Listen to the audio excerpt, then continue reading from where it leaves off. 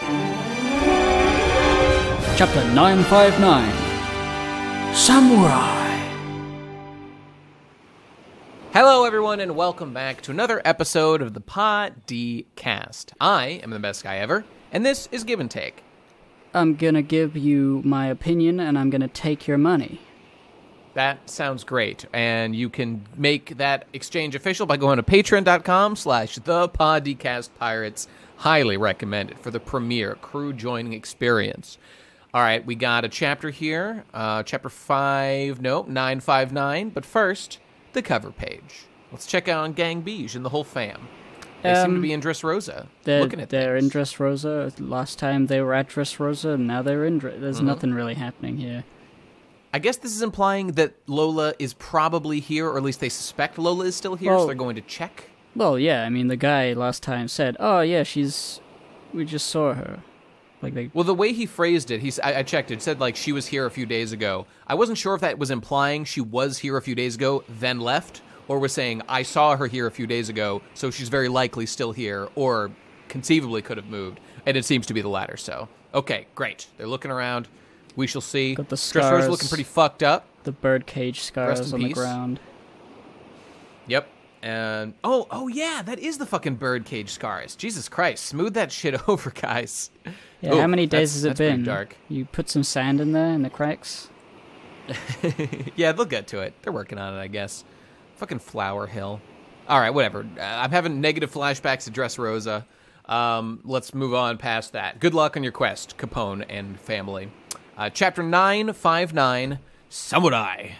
Let's see what Oda has in store for us. Okay, So, so, here we go. Flashback, baby. Two days. Here we go. Mhm. Uh, they're reiterating things we knew last time. The forces are. But when we last left our heroes, they were traumatized. It seemed no one had showed up. The seven samurai and two hangers on are feeling very, very low. So let's let's Yep. learn why.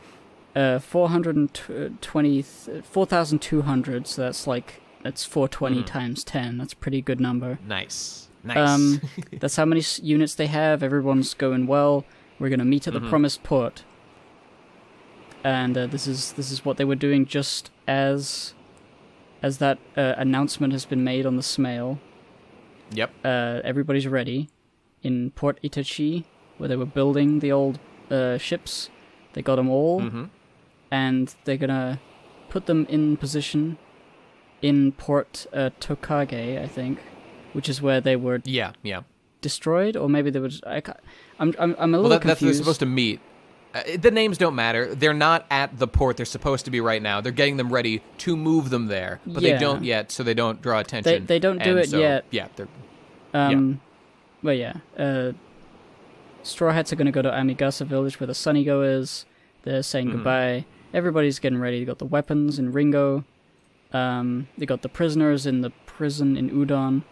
But then hmm they're all talking as one, as Mhm. one entity, uh, about how they should approach this. And they decide not to assemble too early because as soon as you know the flower festival starts, nobody will be paying Mhm. attention and they can move pretty silently. So they're going to wait until the last minute to get everyone into the into lo- into uh, into a position, as it were. So th- this explains why they didn't gather there ahead of time. So it's being addressed at least. So okay, makes sense. Uh, by the way, we see the prisoners. We I think we were talking about this before. They're saying like, "Hey, we got lots of weapons that we're going to be exported from. Uh, you know, the, the the weapons factories are here, run by Queen and the gang.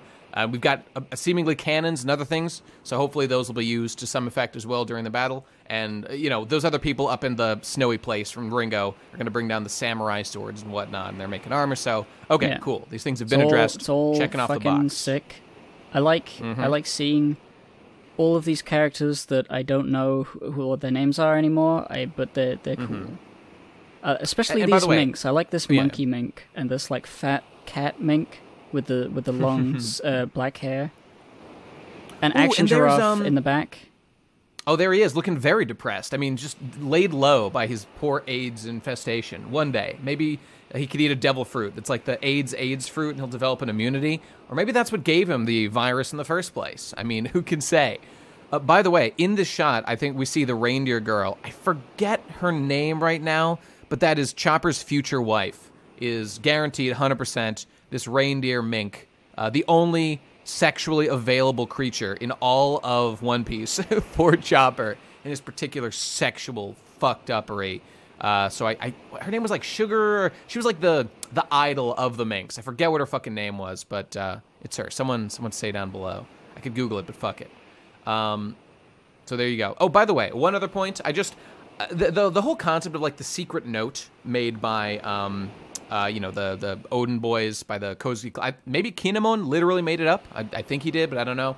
I, I noticed that we've got one of the Yakuza guys saying like the pair of birds indicate that we will assemble before sunset. Okay, so like we, I, I don't know about all you people listening. I am a you know, semi, not professional, but like I have studied Japanese for years, so I have something of a, of a vested interest in the language. And I'm wondering if this is like a pun. Like, why would a pair of birds indicate something pre sunset? Because birds are out during the day? I mean, didn't I don't know. Is this like a kanji I joke feel or like- like a grammar thing? didn't didn't they know. go over this like when he explained what it means, like this? You know, they may have. I may be forgetting. I Like don't, they I don't think a pun was involved. like I think it was just sort of a Kinemon saying this means this and this means that. So that's how But it, people. I mean, it's a code. The people would have to decode it because they aren't given the explanation. They're just given the image. Uh, So there must be an intrinsic meaning in the you know in these symbols. Like Well- how the, the the it was originally like a snake at the bottom, but they changed it to a lizard, meaning to meet at Port Tokage, as opposed to I don't know Hebi Port- port or whatever, which means port snake. snake snack. Well, in any case, I if I'm wrong, let me know, people. I'll go look it up again. But in any case, um, everyone's gathering, and Amigasa Village. We got the Straw Hats. Yeah. What are they up to, Gib? The, uh, the the straw hats are getting some some of that sweet samurai armor with the At with last. the with the big horns and the stuff. Luffy, Brook, and Chopper all looking looking like uh looking like kings right now. like absolute absolute beasts. Now now by the way, so this is incredible. Everyone, I mean, if you haven't read the chapter, go do so. Our boys are looking fab as heck. But Gib, I need to share some information with you and the rest of our viewers who may not have picked up on this. Now this was pointed out to me by um, some folks in the uh, podcast Discord, the Pod Discord, link down below. Feel free to join for great conversation and actually get very useful information from there. So it's a very, very good place for me. Okay, so take a look at uh, this picture. Where'd I put it? Okay, well, whatever. Just just take a look at this right here. It's uploading now, and everybody will put a link in the description or something to this. This is um, you will see an image from chapter. Oh, where is it? I think it was chapter three hundred and uh, ten. Three hundred and ten during Skypiea. You will see that Luffy is wearing a samurai outfit, and you know Usopp and Robin are there, and it's very Asian looking. Here, let, let me link you like a higher resolution so you can look at it by itself. Yeah, I'd like to see um, the, and of, the, of interest, full version of that. I've got it right there. It's uploading right now. Give it a sec. Um, but if you look carefully, this is actually, it's not exactly the same, but this outfit is like 95 to like 90 to 95% identical to the exact samurai outfit that Luffy was wearing like, what, four, five, six hundred chapters ago uh, when Oda drew this initial design of Luffy. And if, if you look really carefully, look at the details on, for example, the pants. You can see the swirls and even the crane symbol are exactly the same from, I mean, what chapter is this? 959 to chapter 310. That is 649 chapters ago. 649 chapters he made this outfit, and now it's been canonized in the Yeah, story. that's- and I again, mean, that's not exactly cool. the same. I mean, Well, I- okay, so thi- some this isn't the same yeah, as like go- go something on. some law. It's uh, he probably looked back at this like, didn't I draw Luffy in a thing? And he looks at the design, and says, Mm-hmm. yeah, I should use that again. And then he drew it again. Well, see, G- Gib, I, I couldn't agree more. But there's slightly more to the story, which is that, um, uh, j- I mean, th- th- this is the main thing of interest. He, I'm sure Oda, like, looked back at this. A-, a lot of people are being like, "Oh my God, what a genius! He planned this." Like from back then. I mean, probably not, guys. He probably just was like, ah, "I already drew Luffy in armor. Let's do a reference to that," and it's awesome and it's great. So there you go. But, but some details are different. The swords are different. I mean, his whatever. his left But- leg is uh, is like raised in the same way as well.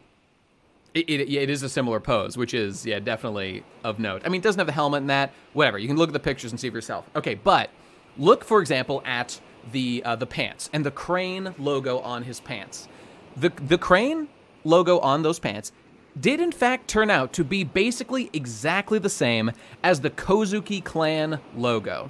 And now some people might think to themselves, like, oh my god, what this proves is that Oda had the entire plan for the Kozuki clan planned out when he drew this a million years ago. Okay, more likely is that Oda like drew this samurai design years and years ago. Maybe he had a plan for the Kozuki clan to be like have a crane symbol or not.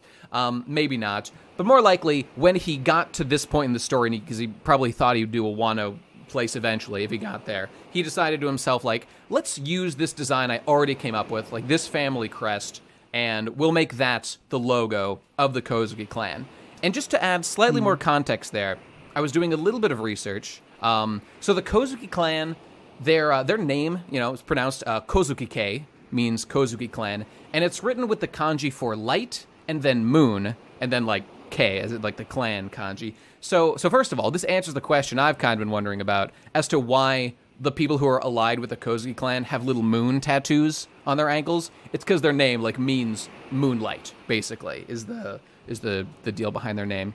The the thing about the crane though, I haven't found any connection between like their name or their history really and cranes. So that one seems a little bit arbitrary. So like I just want to be clear. You guys know me, I love One Piece, but I hate when people give too much credit to something that's cool, but this isn't like a genius level 1000 IQ play where all these factors had to be exactly as they are and proves that he had all this planned out from the start. It's just a really cool recycled idea, most likely, and, you know, he deserves all the kudos in the world for being cool, doing this, doing a reference, but also, on the other hand, he just copied a design from the past. So is it that impressive? I mean, you know, you can decide for yourself. But uh, there you go. There's the full backstory on this outfit for Luffy, Kozuki clan symbol and whatnot. And uh, there you go. That's that's what I got. you know, the thing I like about the the design mm-hmm. of of the thing with the crane on it is that it's like the devil fruit swirls as well. That's probably why he drew it initially like that. It's got like you see mm, that? Could be, could be. Yeah, on the pants, I, I see it. I see it. Not, uh, not a crazy idea. Yeah, it's pretty cool. Wonder who if, can say if a yeah yeah. Uh, dragon in the back looks. I'm I'm just looking at like. Oh, I'm sorry. I almost forgot. The other important thing about this is that how interesting in the back of this cover art there is a giant pink Japanese dragon. Hmm, who do I know in the story who is a pink Japanese dragon, literally Momonosuke? So I'm starting to see some connections here between, you know, oh, yeah. the Kozuki I mean, clan, Momonosuke. This yeah. is this is definitely like like he, he, like I could imagine writing One Piece. He definitely wanted Wano to be a major mm-hmm. thing. Uh, Very likely. everything relating to Wano probably had elements of it in like in the original mm-hmm. plan of One Piece. So like the idea that there's going to be a dragon, uh, mm-hmm. pretty pretty easy. Who doesn't want to put a dragon in their manga yeah. somewhere? You know. um, the color is probably just just a random choice here, and then he decided. I bet that he'd made this cover art and then thought to himself later, like, "Ooh, let's recycle some of these elements because I like the idea of a pink dragon," and so he invented Momonosuke and made what, him pink because Momo means pink in, in Japanese, in, uh, by the way. In Bakuman, yeah. where they say like a retroactive um, setup or something, retroactive something or other. Where like I mean, there's retcon, of course, but no, no. The, in Bakuman, uh, they, they, they talk about mm-hmm. this literary technique of like taking stuff you've drawn for no reason and then making it important later. Yes, yes. I, I, you know, I can't remember the term, but I know what you're talking about. And I mean, Oda is the best at like that because One Piece is so long and there's so much to draw from. I mean, so, especially uh, with, that, that with, definitely like, feels the like the, the color spreads where he has he has yeah, he can do whatever he wants, and they're so Mhm. cool and they're so beautiful. Uh, there's just sort of it's great. I I mean I'm I'm not like Mhm. trying to downplay the fact that there's there's you know a recycled thing that it's like oh my god it's like a callback. Uh, it is cool. It's, it's just that I feel that there's there's plenty of room in the market. Uh, the, the market is saturated on oh my god one piece is so like everything that is happening every chapter is amazing brilliant. That market is saturated. I feel there's plenty of room for us to be like this this and this are perhaps the most reasonable explanations and let's give appropriate credit for you know the things that have been done. Not disproportionate excessive credit when it isn't probably what happened. Uh, that that's where i like Yeah, to yeah. exist anyway. Hype. So hype yeah, is is a bit like juvenile to to, to be hype all the time. You know, take take a chill pill, children. Settle. You just want you want to save your now. hype for when it is appropriate and really matters. That's that's what I feel like. Yeah. And you know that's kind of what my whole speech the other day was about. So eh, whatever. I will now take a sip of calming tea. I will sip my coffee as well. That was a really weird, gross sip. Please cut that. You're editing this one. Do as you like. Speaking of cutting, by the way, um, Oh, we've yeah. got Sanji here talking to, us- to, to Zoro Juro. Let's see what they have to say. Oh yeah, Sanji is saying, "Hey, you gonna wear that that cool armor, the Japanese stuff?" And he's like, Zoro's like, "No, I just slow me down." Ugh. Fucking beta So- ass Zolo Juro not putting on sick ass armor like everybody else. What a bitch. What an idiot. He's he, he's not even a real samurai. I'm more Japanese than you are, Zoro. I have the soul of a true warrior in me. You're just some fucking pretender. Fucking Marimo. The- you know, just just as a, as an aside, draw, drawing all that samurai armor. Like I've wanted to draw like a, a comic for Mm-hmm. a while with a samurai character in it, and I was always debating. Do Mm-hmm. I want to have one of these sorts of armors on the character? Because that's a lot of lines to draw. Mm. Complex. Yeah. That's it doesn't l- lend itself well to to drawings. Maybe you could simplify it. I mean, for example, Well, like this is thing. like all these That- little that's lines. the thing that some but- some of the, if not all of the charm of this of this Mm-hmm. sort of armor is how like busy it is and how like garish and bombastic and like ha I am so cool. Look at me, the samurai, and I have all this stuff on. It's just sort of like, you know, I I appreciate him drawing yeah. this this pose with these three is so cool. But I but I think Zoro being the one who's actually going to be fighting sword battles doesn't want to have him to have to draw him drawing like in in that sort of ah, armor. you're right. the only one who it really. I mean, okay, Brook is a swordsman, but you know, yes, different kind of. but like swordsman. Zoro's definitely going to have like more screen presence in battle. Indeed, indeed. Oh God, Luffy looks so fuck. I love in that top pan. Luffy looks so cool with this helmet on. And you know, I yeah, we didn't appreciate, but I fucking love how excited Luffy and little, baby Chopper and Big Brook. What a what a great pose of all these cool dudes with Chopper, the ladies cheering Chopper's him on from behind. so good right now. He's looking like I think looks I think it's mostly because that giant hat of his is gone. Absolutely. Although, oh wait, where is antlers? Are those his antlers? I think those through? are his. Oh no, wait, he's got fake antlers No. on the front, and then you can see a tiny of his real antlers on the side there. Near- Oh, you're right. near Okay, one of the okay. sparkles. Multiple antlers. You can never have too many. I hope his antlers came from an actual reindeer that was slaughtered to make this sick hat. For well, they're supposed to be like to insects, right? Like beetles, Well, beetles. I mean, they're styled after insects, but uh, I don't think they're literally made from insects. not, not Maybe they're not made from animals at all, though. I, I don't know. I, I have no fucking idea. Anyway, Could be wrong. uh, Sanji here is Mm-hmm. uh, saying you should wear it because your bounty's lower than mine, and you're a bitch. and Zoro, True. Zoro, knowing this to be true, gets mad. It is true. Knowing that he is a bitch, uh, has to fight back to maintain his pathetic manhood. But Sanji, Sanji Chads unite. With his infinitely superior observation haki, effortlessly dodges the bumbling fool Zoro Juro's fucking idiot slash. Can't even control his own sword. Cuts off another piece from the edge of the island. Gotta say, loving the the com- the comedic flashback to the first slash. Like the first time it was like serious. This time it's just Just, hilarious. like, just I love casually it. doing it. Love it. Who knows how many Making animals something he killed? impressive.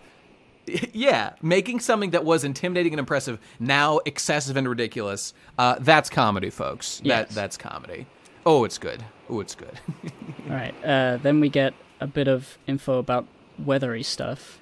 Uh, so Yep. Onigashima is always in the winter, as in like well, only the, the, they say the entrance.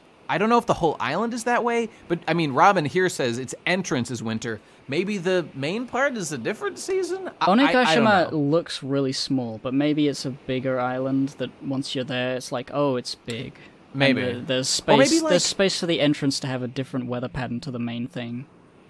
Could be, or maybe it's still small, but like is just specifically fucked up and is like has many seasons crammed in a small location. I, I, I don't know. I don't know. I guess I we'll mean, see. we were talking but they about seem to be how leading like to something. Kaido having like weather Yeah. powers as a dragon was like potentially the reason. So like Oh, yeah. that would be a way to That's dissuade true. people from fucking annoying him is that it's winter at the entrance to to And, make you the know, even if, uh, hard to land there or something.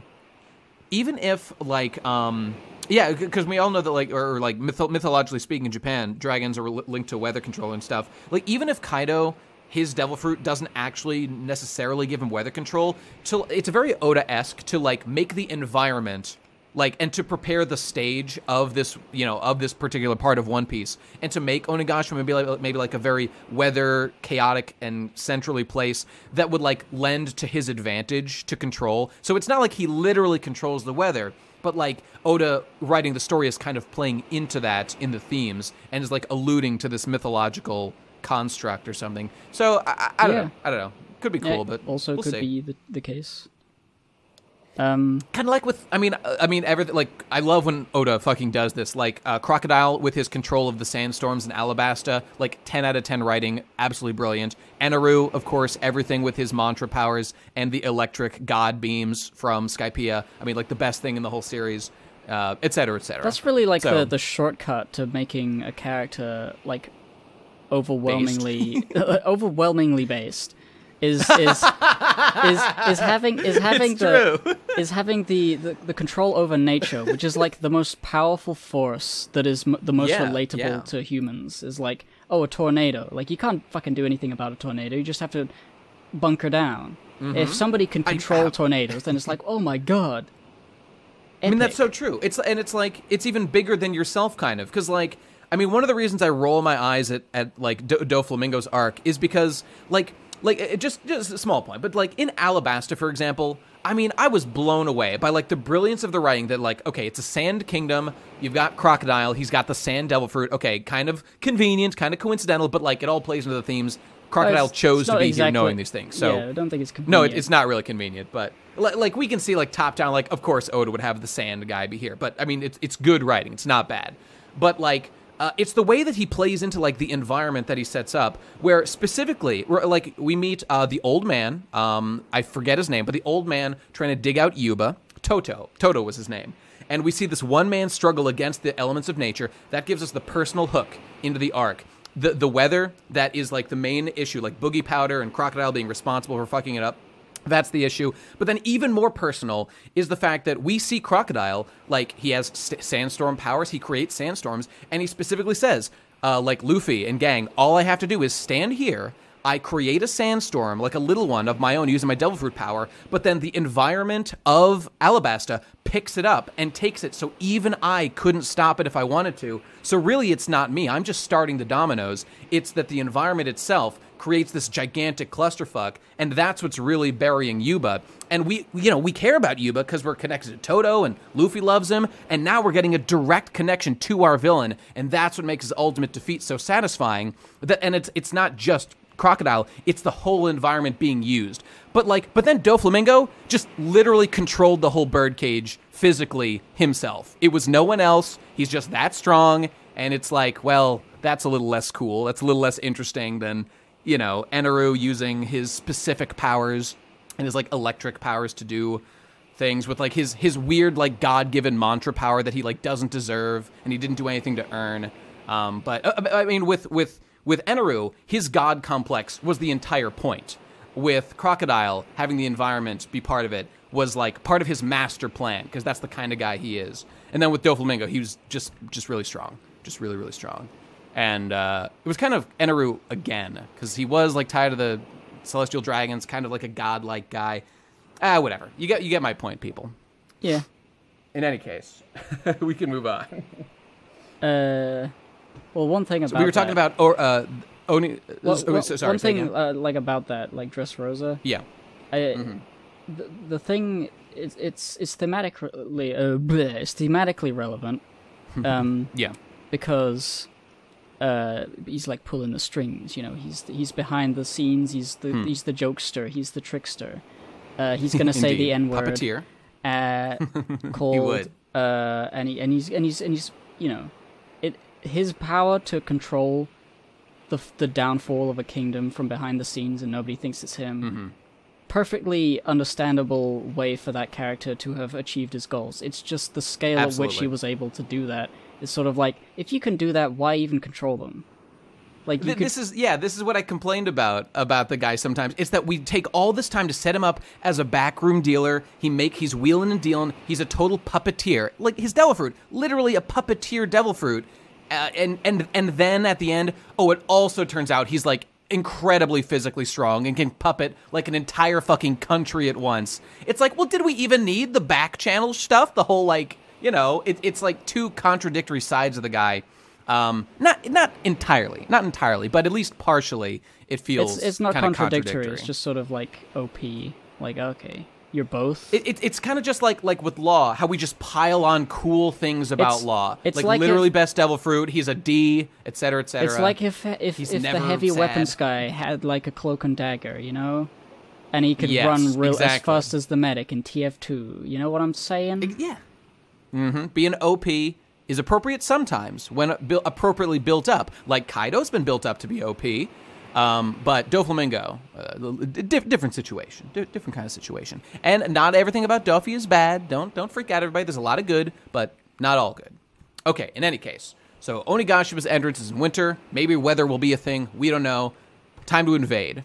Um, and we're, we're talking with we- the minks here. We got we got names of. I Yeah. don't know whether we knew the names of these three musketeers. Inuarashi's three musketeers: Shishilian, I believe we did. Con- Concelot, and Giovanni. Uh, I like Now, I- Giovanni. He's funny. He doesn't have He's eyes. a funny zebra man. Uh, there maybe they're in there somewhere, but I'm, I'm just noticing, by the way, that so we've previously translated Shishilian as Sicilian, and but but Oda here, in no uncertain terms, spells it out in English lettering Shishilian. Uh, so I guess he's a real big shill. He's always pushing his Patreon on everybody. Wait, he's is- got so much paywalled content. Is that a Oh, guaranteed like part of the original, like that those English letters there? Oh uh, yeah, just so you know, like Oda does a thing these days where he will spell out like in English a lot of the time in English lettering. So I, I think that what's happening, we could check with um with Manga Stream to be sure, but I think those gray letters in the back are like Oda literally wrote that, and the small text he wrote in like kanji or katakana or, or in Okay, and Japanese. they're uh, they're doing it over, but uh, in English again. yeah, th- that's why they do it because like it's supposed to be in Japanese over the over the cover, originally speaking. Okay. Um, but yeah, there you go. Oda, get your get your English teacher back in, and then fire him because he's failing you. Uh, yeah. Uh, so all right. Uh, In any case, yeah, they're talking about Sulong potential, so we'll definitely see that if there's a. oh yeah, it's a fucking it's a full moon the night they're invading. So bam, I guess we were fucking right. It's uh, they they could literally every mink could be a Sulong. Uh, so geez, Yes. sounds uh sounds pretty good. I think I think Kaido is gonna die though. Oof, I hope so.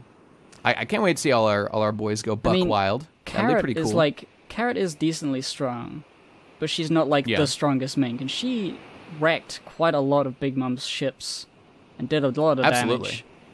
So like if there's a ho- like a bunch of them, mm-hmm. like I, I would assume the Shishila, these three musketeers are stronger than Carrot because they're like, Very likely. Very and then likely. and then there's Inuarashi himself. It's like wow, dude, what are they gonna do?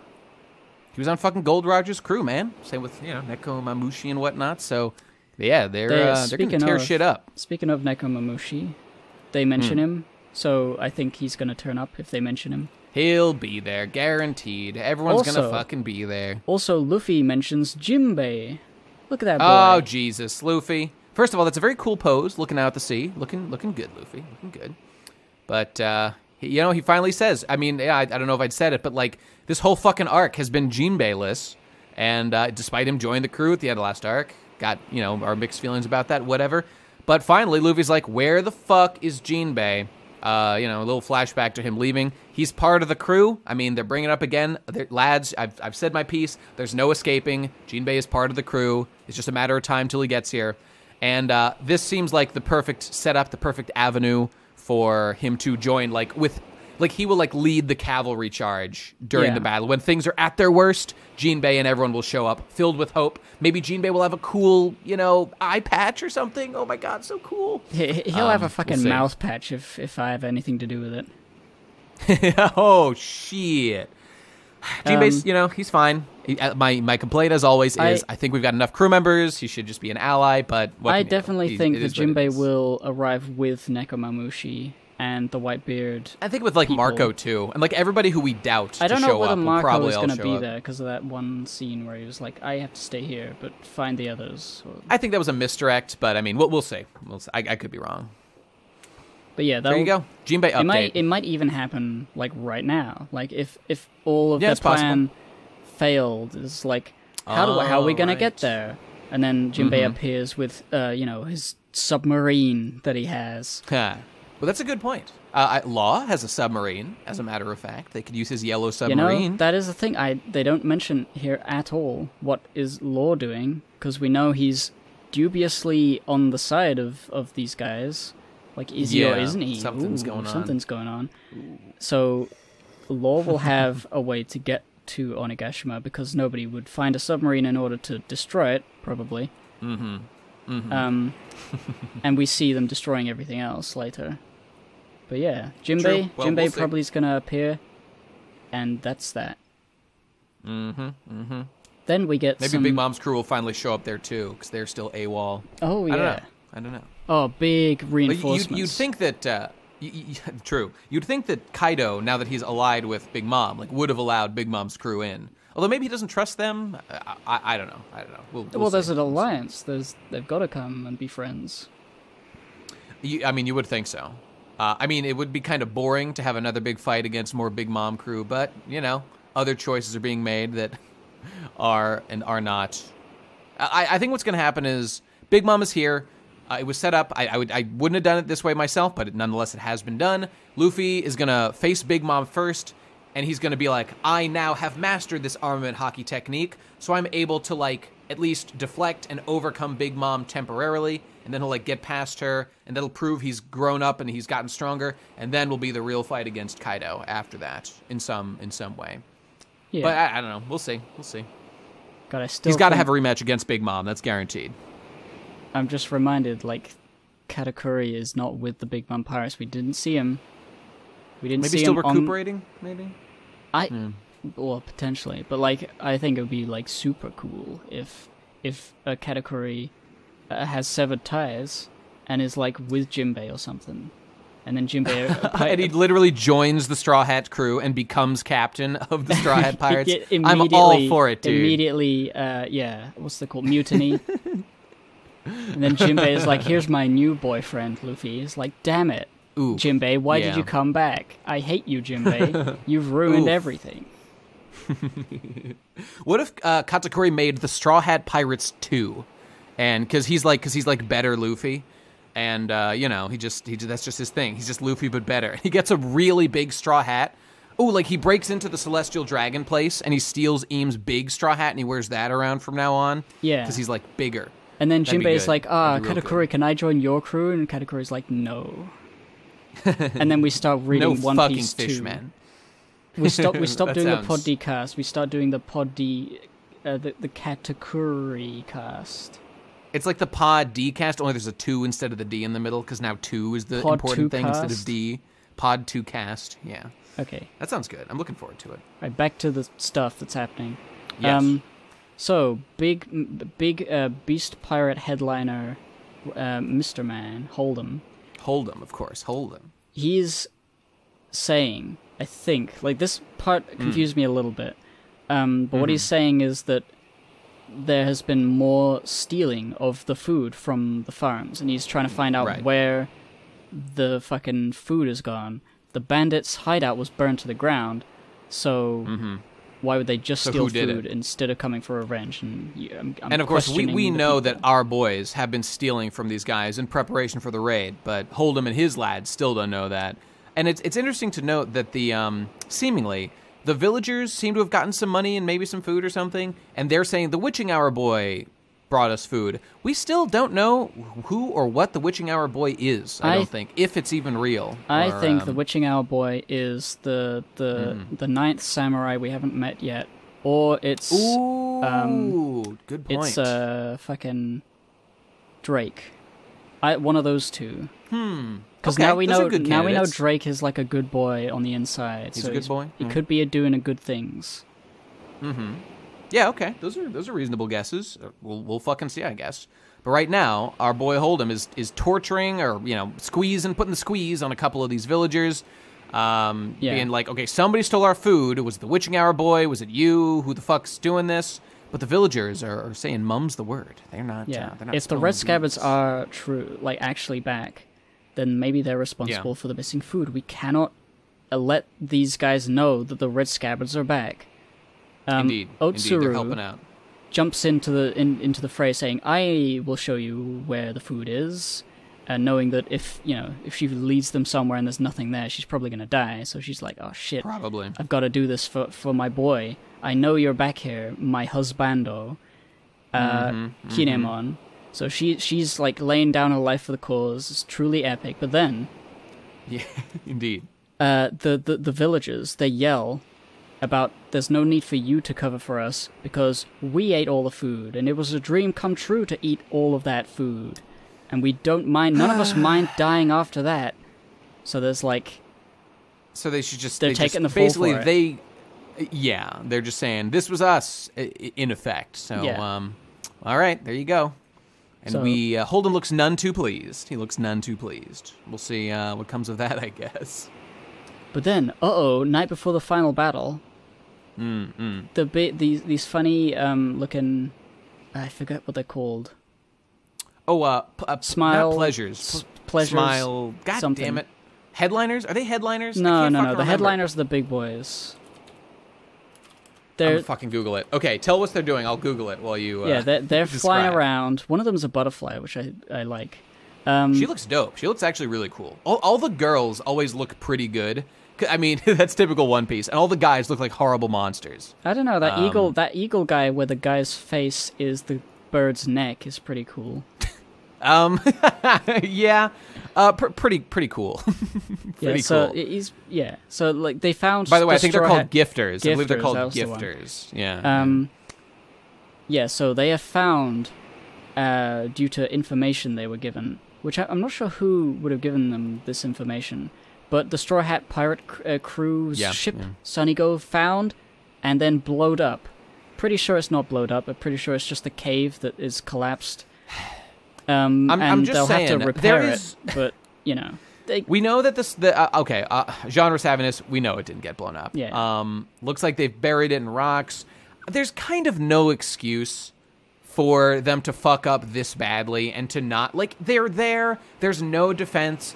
Just fucking put the explosives on the ship and blow it up. Like, why would you do this weird thing of blowing up the area around the ship instead of just the ship? It's I don't know why they're doing that, but we all know that's what's going to happen. it's it's just one of those things. Like how, I mean, I know it's made of like the special wood, but It's made how of Adam wood, but that's not how- that good. That just means it's self-repairing. Like, how clearly does it need to be exploded for people to think, aha, it's been destroyed, and yet it's Yeah. fine? Or it's know, gonna be fine.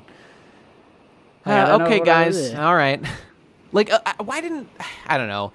Oda could have just said like, "We searched for their ship, but we couldn't find it." Like that's you know that's not that's not the end of the world. Could have done that. Why is it that they know that the Straw Hats are even? I have no idea how they know where this fucking ship is either. I have no idea. Maybe they just have been searching for you know days No, or weeks like or something. It's but why did they? D- when did they learn that the Straw Hats specifically were here? Because they wouldn't be looking Well, for I mean- a ship. I mean, they know that Luffy was um, was was here, so theoretically, not crazy to think that Luffy's ship would be here somewhere. And they, they, I think they know where he showed up originally, because like he ran into some of the troops there and fought them. Uh, I remember oh, correctly. maybe. Yeah, I don't know. Whatever. Anyway, Orochi one of is these things. Orochi is uh, uh, crossing off areas on the map that are Mm-mm. things to destroy. So Indeed.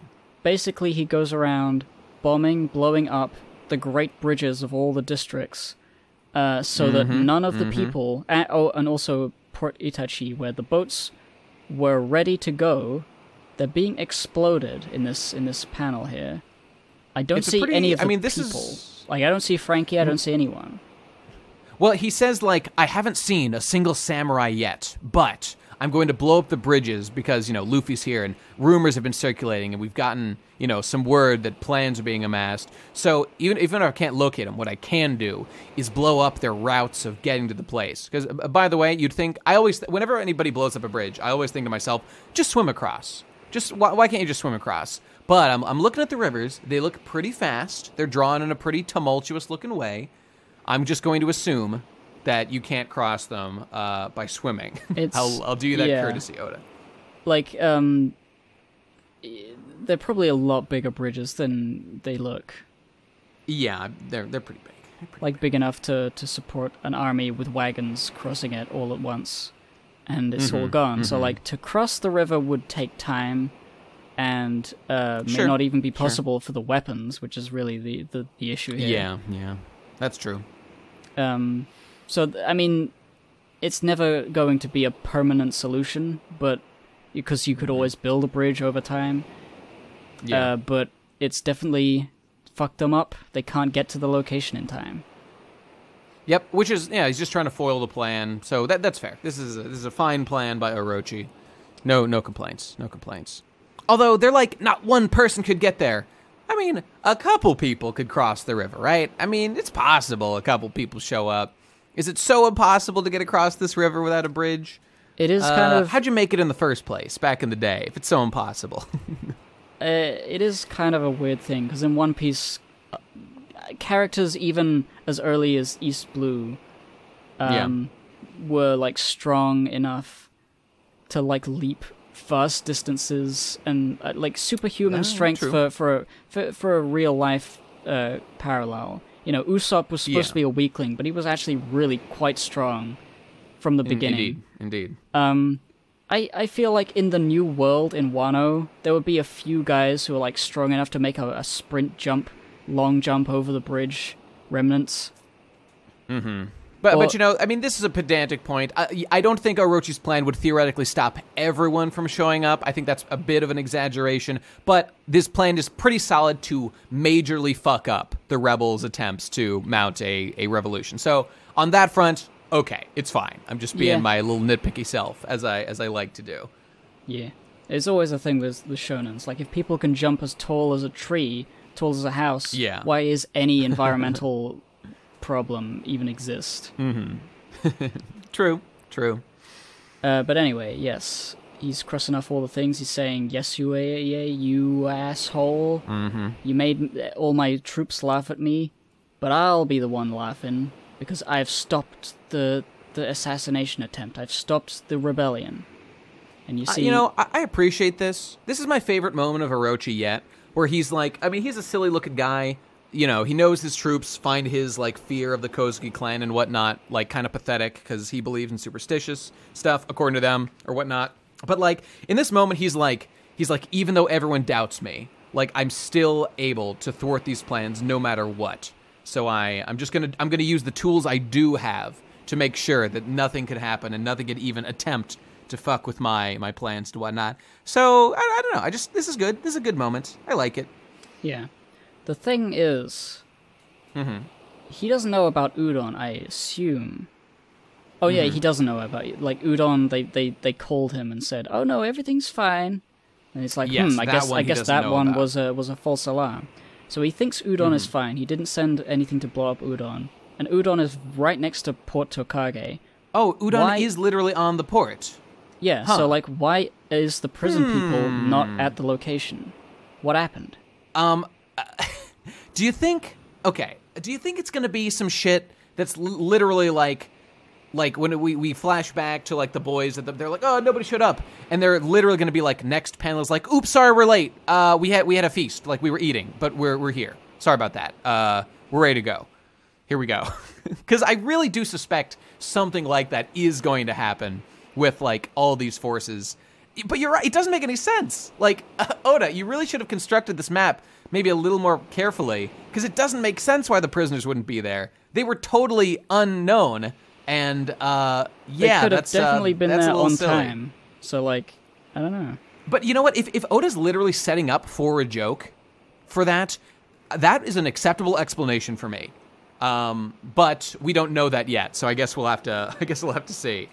I'll, I'll, I'm going to let Oda slide for a little bit. I want to hear his explanation for when inevitably the good guys do, in fact, show up in some way. At that point, I will be able to judge whether or not that was total bullshit or if there's, you know, something redeemable about it. I mean, I think that's But your point is well there's taken. definitely the obvious like silver lining is that the prisoners Mm-hmm. and and all the weapons from there are okay. right.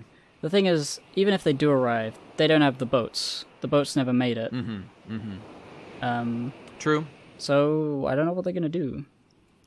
It's. uh, I mean, we. It looks like we straight up see all the boats get exploded. So I don't really know how they're gonna get around that one, unless. Man, oh, remember, remember in Whole Cake at the end when like there was that one panel where like quote unquote the Sunny got blown up, and we were all like, "Oh no, the Sunny got blown up," and there's no possible way this is like a shitty misdirection where like the smoke that was there from the explosion made it like kind of hard to see that the ship was actually 100% fine. And like everyone what everyone knew was going to happen is in fact what happened. Didn't is that what- are we what- just getting is it another one of these? That's got to be it right? What other explanation could there be uh the the, the boats that they were gonna use are all well, some of them are fine. You know, it's, it's, okay, all right. Here's here's one thing Yeah, go ahead, go about that. That Okay. that panel, that one panel of the, all the boats in Port Itachi, which is where they were building them. Um, Mm-hmm. in that it looks like one ship is blow, ex- exploding Well, in that shot it looks like to me I mean, whatever. There's, there's a number of ships blown Okay. up. I don't see a single person there getting hurt. I don't Yeah. see. I know Frankie and, and Usopp Hmm. left to go to see to meet everyone at the Sunny Go. Um, Hmm. So they wouldn't be there, but all of the other people were would be there to get the ships on the water. You know, like to sail them to the to the right location mm-hmm. either they were all on those ships and were killed, or they are for Hmm. some reason absent.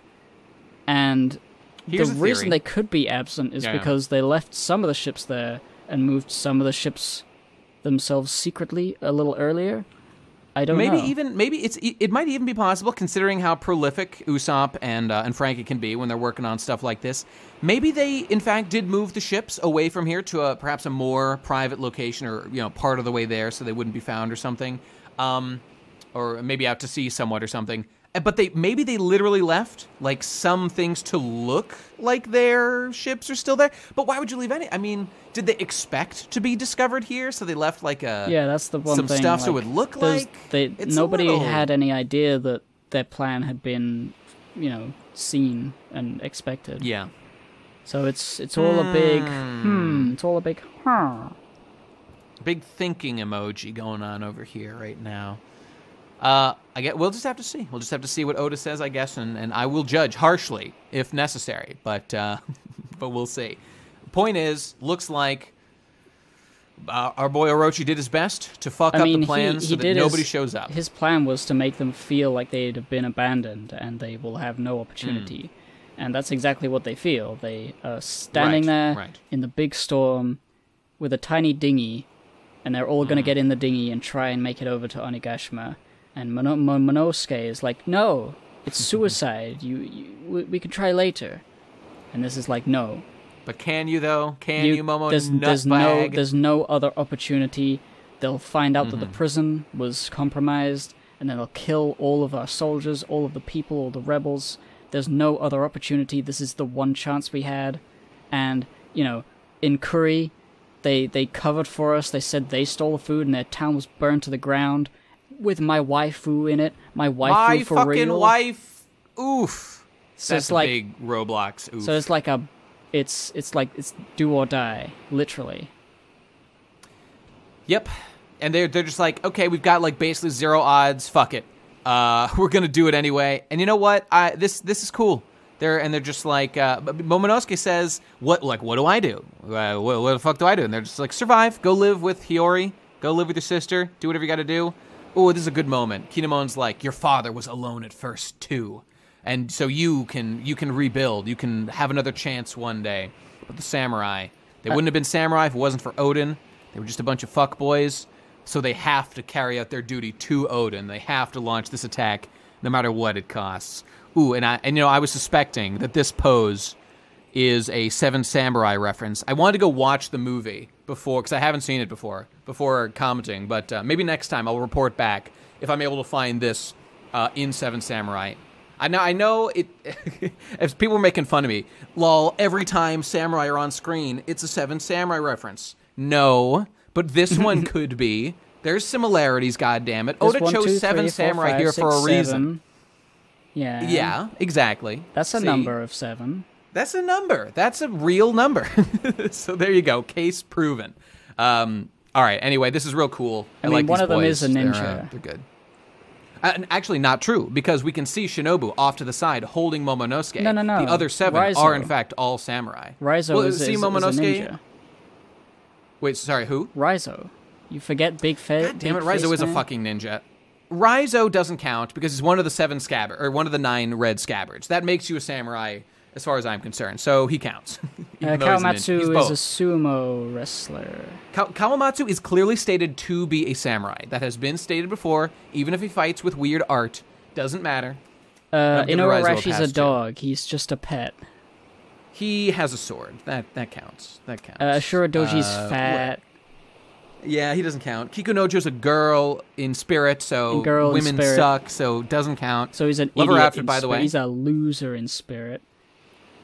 Do you think I, I'm just throwing this out there? Total crazy thing. Do you think that Oda's planning some trickery, some some misdirect of like that's not actually Kiku in that armor there, and it's actually somebody else since we haven't seen her, his face, whatever. You know, Um, they. I don't think they've said a theories? word since we've seen them like that. But I don't know why No, they have not. they would be someone else and who they would be. Here's a crazy theory. Crazy theory. It's like Drake or it's like Law, and they're doing some either plan to fuck up this operation, or and Kiku's been like captured somewhere, or some something else. I don't Um, know. Well, the thing with that is that Kiku was a big bitch, so like they would need to be the same Yeah. build. I don't think Law is that Hmm. tall. I don't think Drake is that tall either. You know that. I think I think you're right. I think you're right. Mm, okay, I'm just saying I'm open to the possibility of some surprise coming from inside that armor. So okay, well we, we will see. That'd will be see. interesting. Okay, It would. last thing, they're they're sort of th- they're remembering like uh, Mm-hmm. Oden and stuff. Uh, as Lord Oden's samurai until the bitter end. This is this is it. This is thirty nine years ago in the Flower Capital. Um, he's talking about we must open Wano's borders. I think that's him, the o- Oden speaking. And then wait, let, let me just read this out because this is important. It's uh, Oden says in this flashback. Listen up, everyone. There was a reason why this country has been isolated for hundreds of years, and that reason is deeply connected to the Kozuki clan. In time, its purpose will be fulfilled. In order for the tides of this world to turn, we must open Wano's borders. Okay, let me just say this is huge news. I had I don't think I'd thought of this before. I don't think this had been addressed before. But basically, what's basically 100% clear by this statement is that Oden's long-term like personal narrative that we've been kind of experiencing through flashbacks and whatnot of wanting to open Wano's borders and his whole character being like, ah, this country's too cramped and whatnot. Now that he has said this and he's saying there's a reason for it, this almost 100% guarantees that Wano's closed borders policy has something to do with the poneglyphs, the void century, the ancient kingdom that was destroyed that, you know, the Kozuki clan made the poneglyphs for, and that opening of the borders in some way directly ties into some way that like this could change the world. So so just boom, just like that, with a couple panels just now, we've now tied Kozuki Oden's fucking long-term narrative that obviously relates to Momonosuke and all these other characters, our boys who are caught up in this big war against Kaido, the Yonko, and you know uh, uh, uh, Orochi and all this stuff. It's now intrinsically linked to the larger One Piece narrative of the world government, of the Void Century, of the poneglyphs and the ancient weapons and Whitebeard and Gold Roger and all that stuff. And uh, uh, absolutely beautiful. Absolutely beautifully done. I can't believe I hadn't thought of this before, but uh, I, I mean, cannot I absolutely had- fucking wait to see where this goes. I had a suspicion that the fact that the Mm-hmm. came from Wano means that they have something very important to do with the, the Void Century. Um, we, we all suspected that to a degree. but I, I. I guess I wasn't thinking like the opening of the borders is what would Like I don't even know really what it would mean specifically. See, th- th- that's the thing. This could be either really good or really shitty writing. And you know, I like Oda, so I, I'm giving him the benefit of the doubt because he's written really good things before. But so so based now that he said this, Oda now needs to make the opening of the borders, which will obviously inevitably inevitably be the end of this arc. That's everything's been set up to do that. So that's going to be the end of this arc, and he now needs to make that event in some ha- in some way relate to like the secret of the poneglyphs and like maybe uh, Laugh Tale, Raft Tale, or whatever, and the world government and all that stuff. So so now o- Oda, you put yourself on the hook in a big way now. Now specifically the opening of the borders has to be related in some way. So I'm gonna be I'm gonna be holding your feet to the fire, buddy. So you better you better deliver. Oh, by, by the way, small point. I just want to point out that uh, one little thing. Those Torii gates. I'm looking at um, the uh, the the sakura tree that Yeah. Oden Castle or whatever is on top of, or Kozuki Castle, or whatever the fuck it's called, in the middle of the flower capital. Those gates represent an approach to holy sites or to place where yokai live and whatnot. And I just think they look real cool, and it means it's it's like a holy place, the palace. Isn't that neato? Uh, okay. Anyway, You know, I'm just thinking like how far away those bridges that Mm-hmm. lead into the castle are, and how like unbelievably steep it must be at the very bottom. Like Hmm, it's there's an basically like the like the height of a house is like cons- like a 90 degree angle straight up. That that's true. It's like the size of like a mansion height or something. You got to climb up again there. At least like one or two stories there. Oof, that's a that's a big walk. They, they, that's they probably walk. got like those climbing rock things in the in the wall. Also, inside. imagine you're trying to climb that bridge, but like the very point where the bridge touches the ground is almost like a, a straight 90 degree angle upward that you start Yeah. walking at as you climb that fucking bridge. They have to have like ropes or something to pull yourself up or something. I don't know. Shitty world design, Oda. Fuck you. Japan sucks. Period. All right. Anyway, let's let's wrap this sucker up. Yeah. 39 years ago, flower capital. What's up? Yeah, so hide your kids, hide your wife. Here comes They raping Hi- hi- everybody in here. Hide the livestock. I don't know what he's going to do with that. He's gonna rape the livestock. Watch out. Hurry up! Here he comes, the mo- the, the super charismatic fla- uh, man in the flower ca- capital, infamous Kozuki Oden Mm-hmm. has returned. He's strutting his stuff, walking down the middle of the street with a gigantic rope thing on his back. What do they call that? Yeah, I don't, I don't remember. It's a sumo thing. I, I forget Yeah. what it's called. He's got his big, like me- like thick, meaty legs. Just He has just the thickest legs uh, in the game, and his skirt is so short. I'm seeing so much leg going on right now. Everybody's pissed off to see this guy. I, I hope he looks. I hope he looks exactly like Frankie. Uh, You know, okay, so uh, this is this is this is it, guys. Uh, We might be in for the Kozuki flashback we've all been waiting for, like next chapter. I don't know. It seems like that's where we're going. Oh, of course. Jesus Christ! I, I, I good God, good God. Well, well, we, we will see, and we see he's got his two swords, Enma and whatever the other fucking one was. Benma. Um, And by the way, it, it says like uh, he has failed to set sail again. So clearly, he was attempting to escape the country, but something or someone stopped him. So I'm I'm interested to see what Hurry that's up about and because his die father already. is the shogun. So Yeah. everyone People- wants him to die. They're none too pleased. People do not like this man, but he's so No, he's such no, a sir. chad that he n- nothing can like water off a duck, duck's back. I mean, he's straight up doing a Chad stride uh, down the center of Yeah. town here and, uh, and flaunting his his insane gains. This man does not skip leg day, and he's letting everybody know. And he's looking he's looking incredible. I, I just want to say, so everything we. Uh, my, my problem with Law, guys like Law, uh, to a degree, Doflamingo, stuff like this, uh, or, or even Jinbei a little bit, is we're like, we're, we're told so many cool things about these characters, but there's no punchline. There's no punchline at the end. It's like how funny. There's a, there's like little ones here and there with like you know Law. They made fun of him a little bit. But Kozuki Oden, everything we've heard has been like so fucking insanely glowing. You know, I've been complaining about it a little bit. Like, Jesus, everybody wants to suck this guy's fucking dick. He's like tied to like the world government and the deepest lore of One Piece. Fucking Roger and Whitebeard literally fought over him, uh, uh, over one of them sweet gams. Um, and so it's like, oh Jesus Christ, uh, Oda, you better be do something good with this. Just the just the simple act of making him look kind of silly, just just like like he's got a way big bow that's way too big. He's he's showing off so much leg. He's literally doing the Chad stride. He's got Chad hairstyle. He's got a weird spike or a weird hat or something. I cannot fucking wait to see what this guy looks like.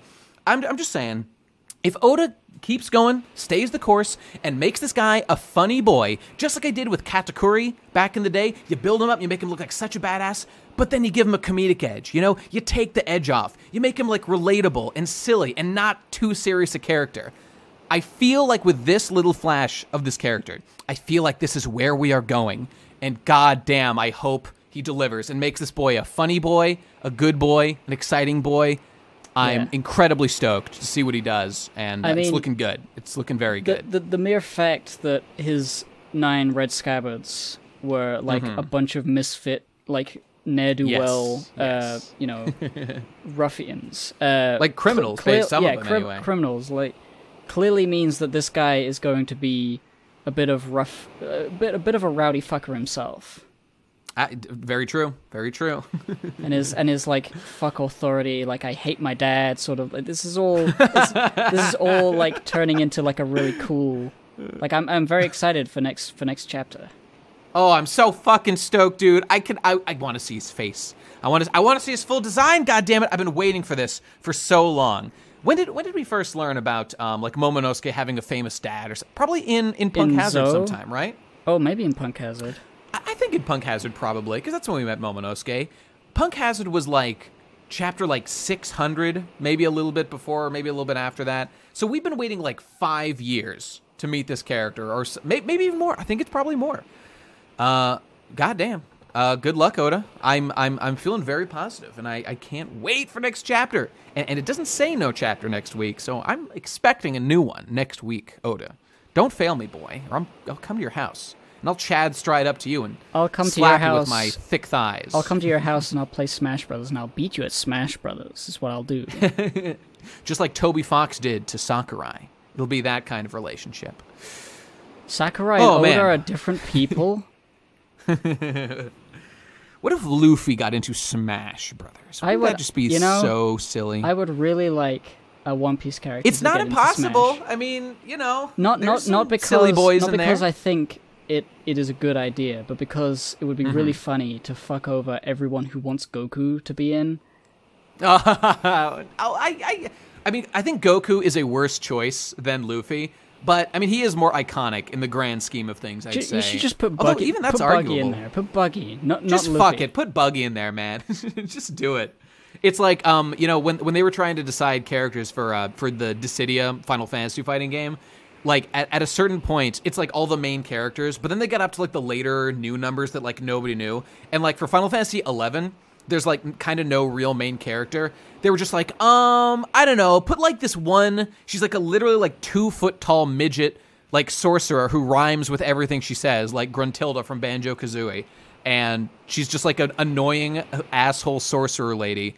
But she's like a good like they just had to pick somebody, so they just picked like a, a character that the developers liked.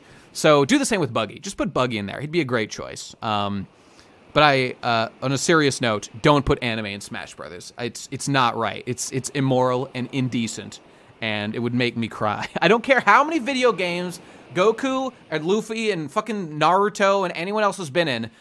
Smash Brothers are video games. Keep these worlds separate, or I'll I'll cry. That's my there you All go. right. There's my opinion. And that's the end of the Okay. chapter. Anyway, we're done, people. We're done. That's all we have to say. Chapter nine fifty nine. Uh, uh, welcome to the golden generation. Goddamn. I guess we'll see you next week. But before that, head on over to patreon.com slash the podcast pirates and uh, give us your money. Join the crew for as little as one dollar we do. And uh, give us as much as you want. I won't stop you. Um, and uh, join, regardless, join the Podcast Discord down below. Talk about One Piece all the time. And help me, help give me information to say on the show, as was done by the geniuses in the chat today. Uh, I think I think Figerson, I believe, is the one I want to credit with that. He's the one who turned me on. So thanks, Fig. Uh, the original dad from the Radcon 3 Kickstarter. He's, he's a good man. He's a good man. Um, oh, and I have, I have another little announcement, possibly a new announcement for you as well, Gib. And it's that um, you should head on over to twitter.com slash podcast ahoy for our new Twitter account that I just made at long last to be just about podcast stuff. No more PCP, Twitter leeching. Fuck those guys. They can eat a dick. Um, at Podcast Ahoy. I tried doing Podcast Pirates, already taken. I tried the Podcast Pirates, too many letters. So Podcast Ahoy, that's what you get. Uh, you're welcome. You're welcome, everybody. So go follow us. It'll be One Piece news from there, from now on, and that'll be it.